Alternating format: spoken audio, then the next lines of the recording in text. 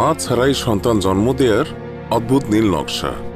দশ মাস দশ দিন গর্ভে ধারণ করে একটা মানব সন্তানকে জন্মদানের জন্য অপেক্ষা করেন মা।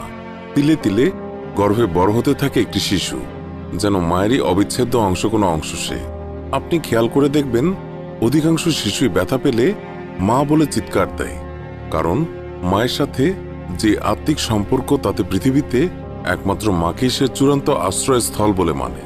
আর এই সম্পর্ক গড়ে ওঠে সেই গর্ভধারণের কাল থেকেই। কিন্তু আধুনিক বিজ্ঞান প্রতিনিয়ত চেষ্টা করেই যাচ্ছে। মানুষের বংশবিস্তার হোক এমন একটি প্রক্রিয়ায় যেখানে মায়েরই কোনো প্রয়োজন হবে না আর।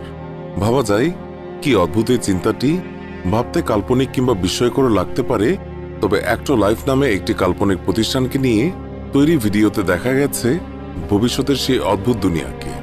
যেখানে মায়ের গর্ভ নয়, সন্তান জন্মাবে কৃত্রিম গর্ভে।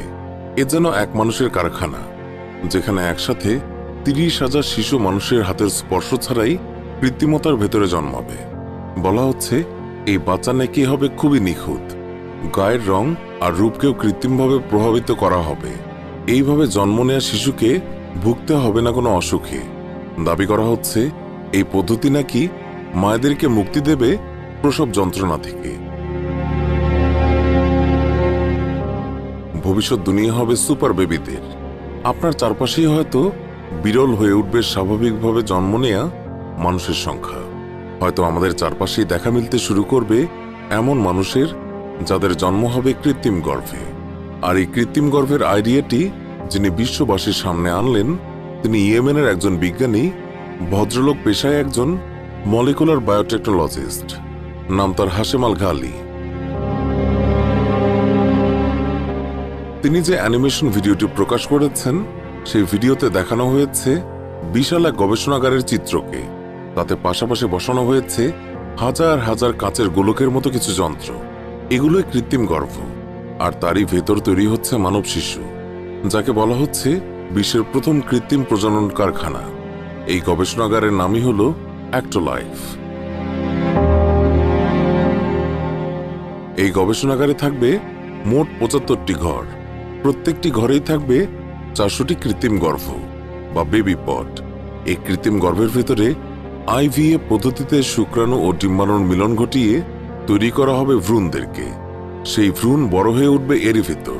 এইভাবে সব মিলিয়ে এই গবেষণাগারে একসাথে প্রায় তিরিশ হাজার শিশুর জন্ম দেওয়া সম্ভব হবে। হাসেমাল গালির ভিডিও সাড়া ফেলেছে ইন্টারনেট জগতে। তবে সবাই যে এই কৃত্রিম গর্ভের ধারণা পছন্দ করেছেন, তাও কিন্তু নয়। অনেকে মনে করছেন, কৃত্রিম বুদ্ধিমত্তা ব্যবহার করে কৃত্রিমভাবে শিশু জন্মদানের ফলে তাতে ঘাটতি থাকবে মানবিক স্পর্শের। ফলে মায়ের সাথে শিশুর যে আত্মিক সম্পর্ক, সেটিও থাকবে না হয়তো প্রযুক্তির ব্যবহারের ফলে। যদিও বিজ্ঞানীরা মনে করছেন, এইভাবে সন্তান জন্মদানের ফলে গর্ভকালীন সময় দুর্ঘটনাবশত সন্তান মৃত্যুর সংখ্যা হ্রাস পাবে। অপরিণত শিশুর অকাল মৃত্যুও কমবে। তাছাড়া যেসব দেশে আজকাল জনসংখ্যা হ্রাস পাচ্ছে, সন্তান জন্মদানে অনীহা দেখা যাচ্ছে, সেখানে এই পদ্ধতিতে সন্তান জন্মদানে ভালো ফল পাওয়া যাবে। পৃথিবী কৃত্রিম বুদ্ধিমত্তার দিকে ধাবিত হচ্ছে প্রবল গতিতে। হয়তো কৃত্রিম গর্ভধারণকেও ঠেকিয়ে রাখা যাবে না। হাসেমাল গালির ভিডিওতে দেখানো কারখানাই হবে হয়তো আধুনিক মানুষের কাছে নতুন বিকল্প। মায়ের গর্ভের বদলে যান্ত্রিক গর্ভে জন্ম নেয়া সেই নতুন মানুষেরা যান্ত্রিকতায় জন্ম নিয়ে ভাগ্যবান জেনারেশন হবে।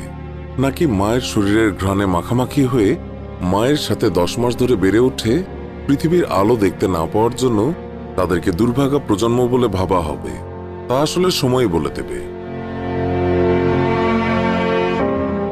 তবে নারী ছেড়া বাঁধন নামে যে সম্পর্কের বন্ধন মা সন্তানের মাঝে একটি সন্তানের জন্য মায়ের যেই ত্যাগ, মায়ের জন্য সন্তানের যে আকুলতা, যান্ত্রিকতায় এই সূক্ষ্ম অনুভূতিগুলোই যদি হারিয়ে যায়, তাহলে প্রাণী হিসেবে নিজেদেরকে মানুষ দাবি করার যোগ্যতা আমাদের কতটুকু থাকবে তাকে বিজ্ঞানীরা ভেবে দেখেছেন?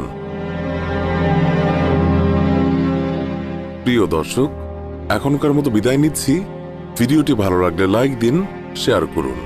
নিয়মিত এমন ভিডিও পেতে এক্ষুনি আমাদের চ্যানেলটি সাবস্ক্রাইব করে পাশে থাকা বেল আইকনটি ক্লিক করুন। এতক্ষণ ধরে ভিডিওটি দেখার জন্য অনেক অনেক ধন্যবাদ।